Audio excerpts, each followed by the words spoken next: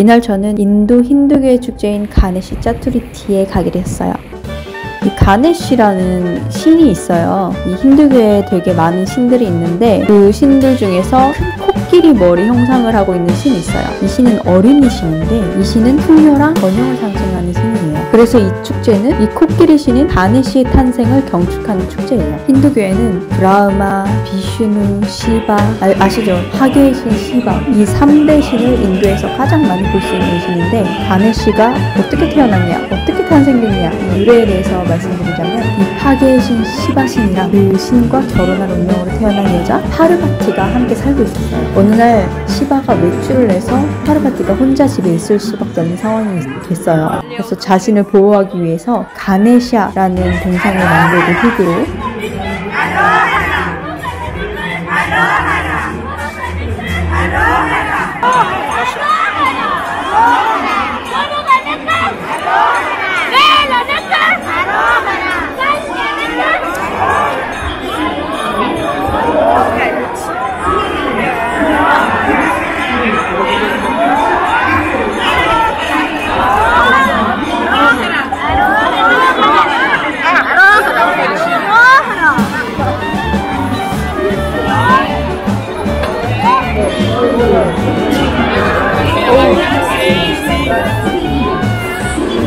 파리바티 자신을 지키도록 만들었어요. 그러던 중에 파리바티는 목욕을 하기 위해서 욕실에 들어와서 문을 잠그고 가네시한테 야 문을 지켜 나 목욕 중이니까 이렇게 말을 했어요. 그때 마침 남편인 시바가 딱 집에 들어온 거예요. 근데 듣도 보도 못한 애가 자기 앞길을 딱 막 가로막는 거예요. 가네시가 아 저기 들어가시면 안 돼요. 절대 안 돼요. 하면서 길을 막는 거예요. 이에 화가 난 시바는 시바는 무슨 신이죠? 파괴의 신이죠. 그래서 머리를 날려버립니다. 이후 이 사실을 알게 된 파르바티는 정말 화가 머리 끝까지 난 거예요. 아니 나를 지키려고 만들어 놓은 건데 그 머리를 날려버리면 어떡하냐. 그래서 시바가 어, 미안 나 그 몰랐어 하면서 내가 가네시를 다시 꼭 살려줄게 하고 천신들을 북쪽으로 보내서 날라간 어린이 그 가네시의 머리를 찾아오라고 시켰습니다. 근데 이 천신들이 가져온 거라고는 그 진짜 가네시의 머리가 아닌 코끼리의 머리밖에 없었던 거예요.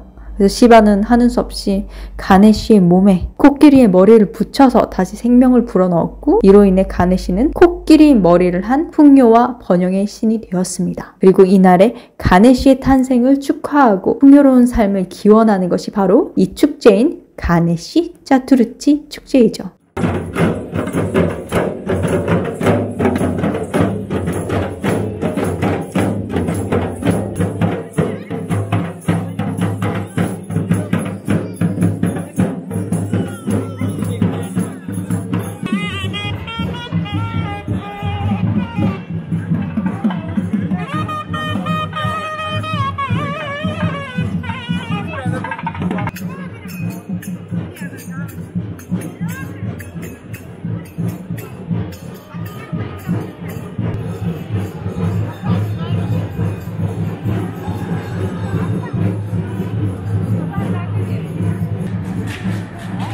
J'ai jamais vu, c'est vraiment petit. Hein. On a une belle petite de sable.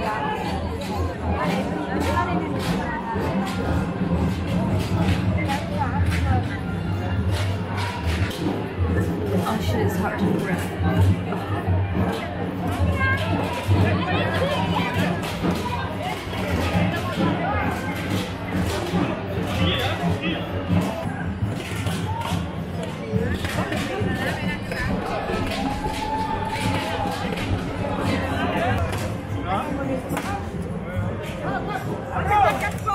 행렬을 열심히 보고 있는데 어디선가 그 뒤에서 뚝배기 깨지는 소리가 나는 거야. 땅땅 이러면서. 그래서 어 뭐지? 하고 그 소리 이끌려서 가봤더니 사람들이 코코넛을 깨고 있는 거야. 던져서. 제가 너무 궁금해서 아 저거 왜 저러냐라고 물어봤더니 힌두교에서는 견과류 껍질 이 딱딱한 껍질은 세상의 환영이고 그 육체는 각자의 업을 의미한대요. 그 안에 코코넛 안에 들어있는 코코넛 water 그 물은 인간의 자아를 상징한다고 해요. 그래서 코코넛 열매를 깨뜨리는 일은 힌두교인들한테 그들의 마음을 가네시 신한테 바치는 것, 인신공양 같은 의미라고 할 수 있는 거예요. 이 축제에서 가장 중요한 거는 맨발로 의식을 해내야 되는 점이고 이 깨뜨리고 난 코코넛은 어떡하냐 먹습니다. 이 조각을 먹으면 행운을 불러온다 라고 해가지고 그 깨진 코코넛을 주워 담아서 집에 가져가시는 분들도 계시고 그걸 주셔서 바로 그 자리에서 섭취하시는 분들도 계셨어요.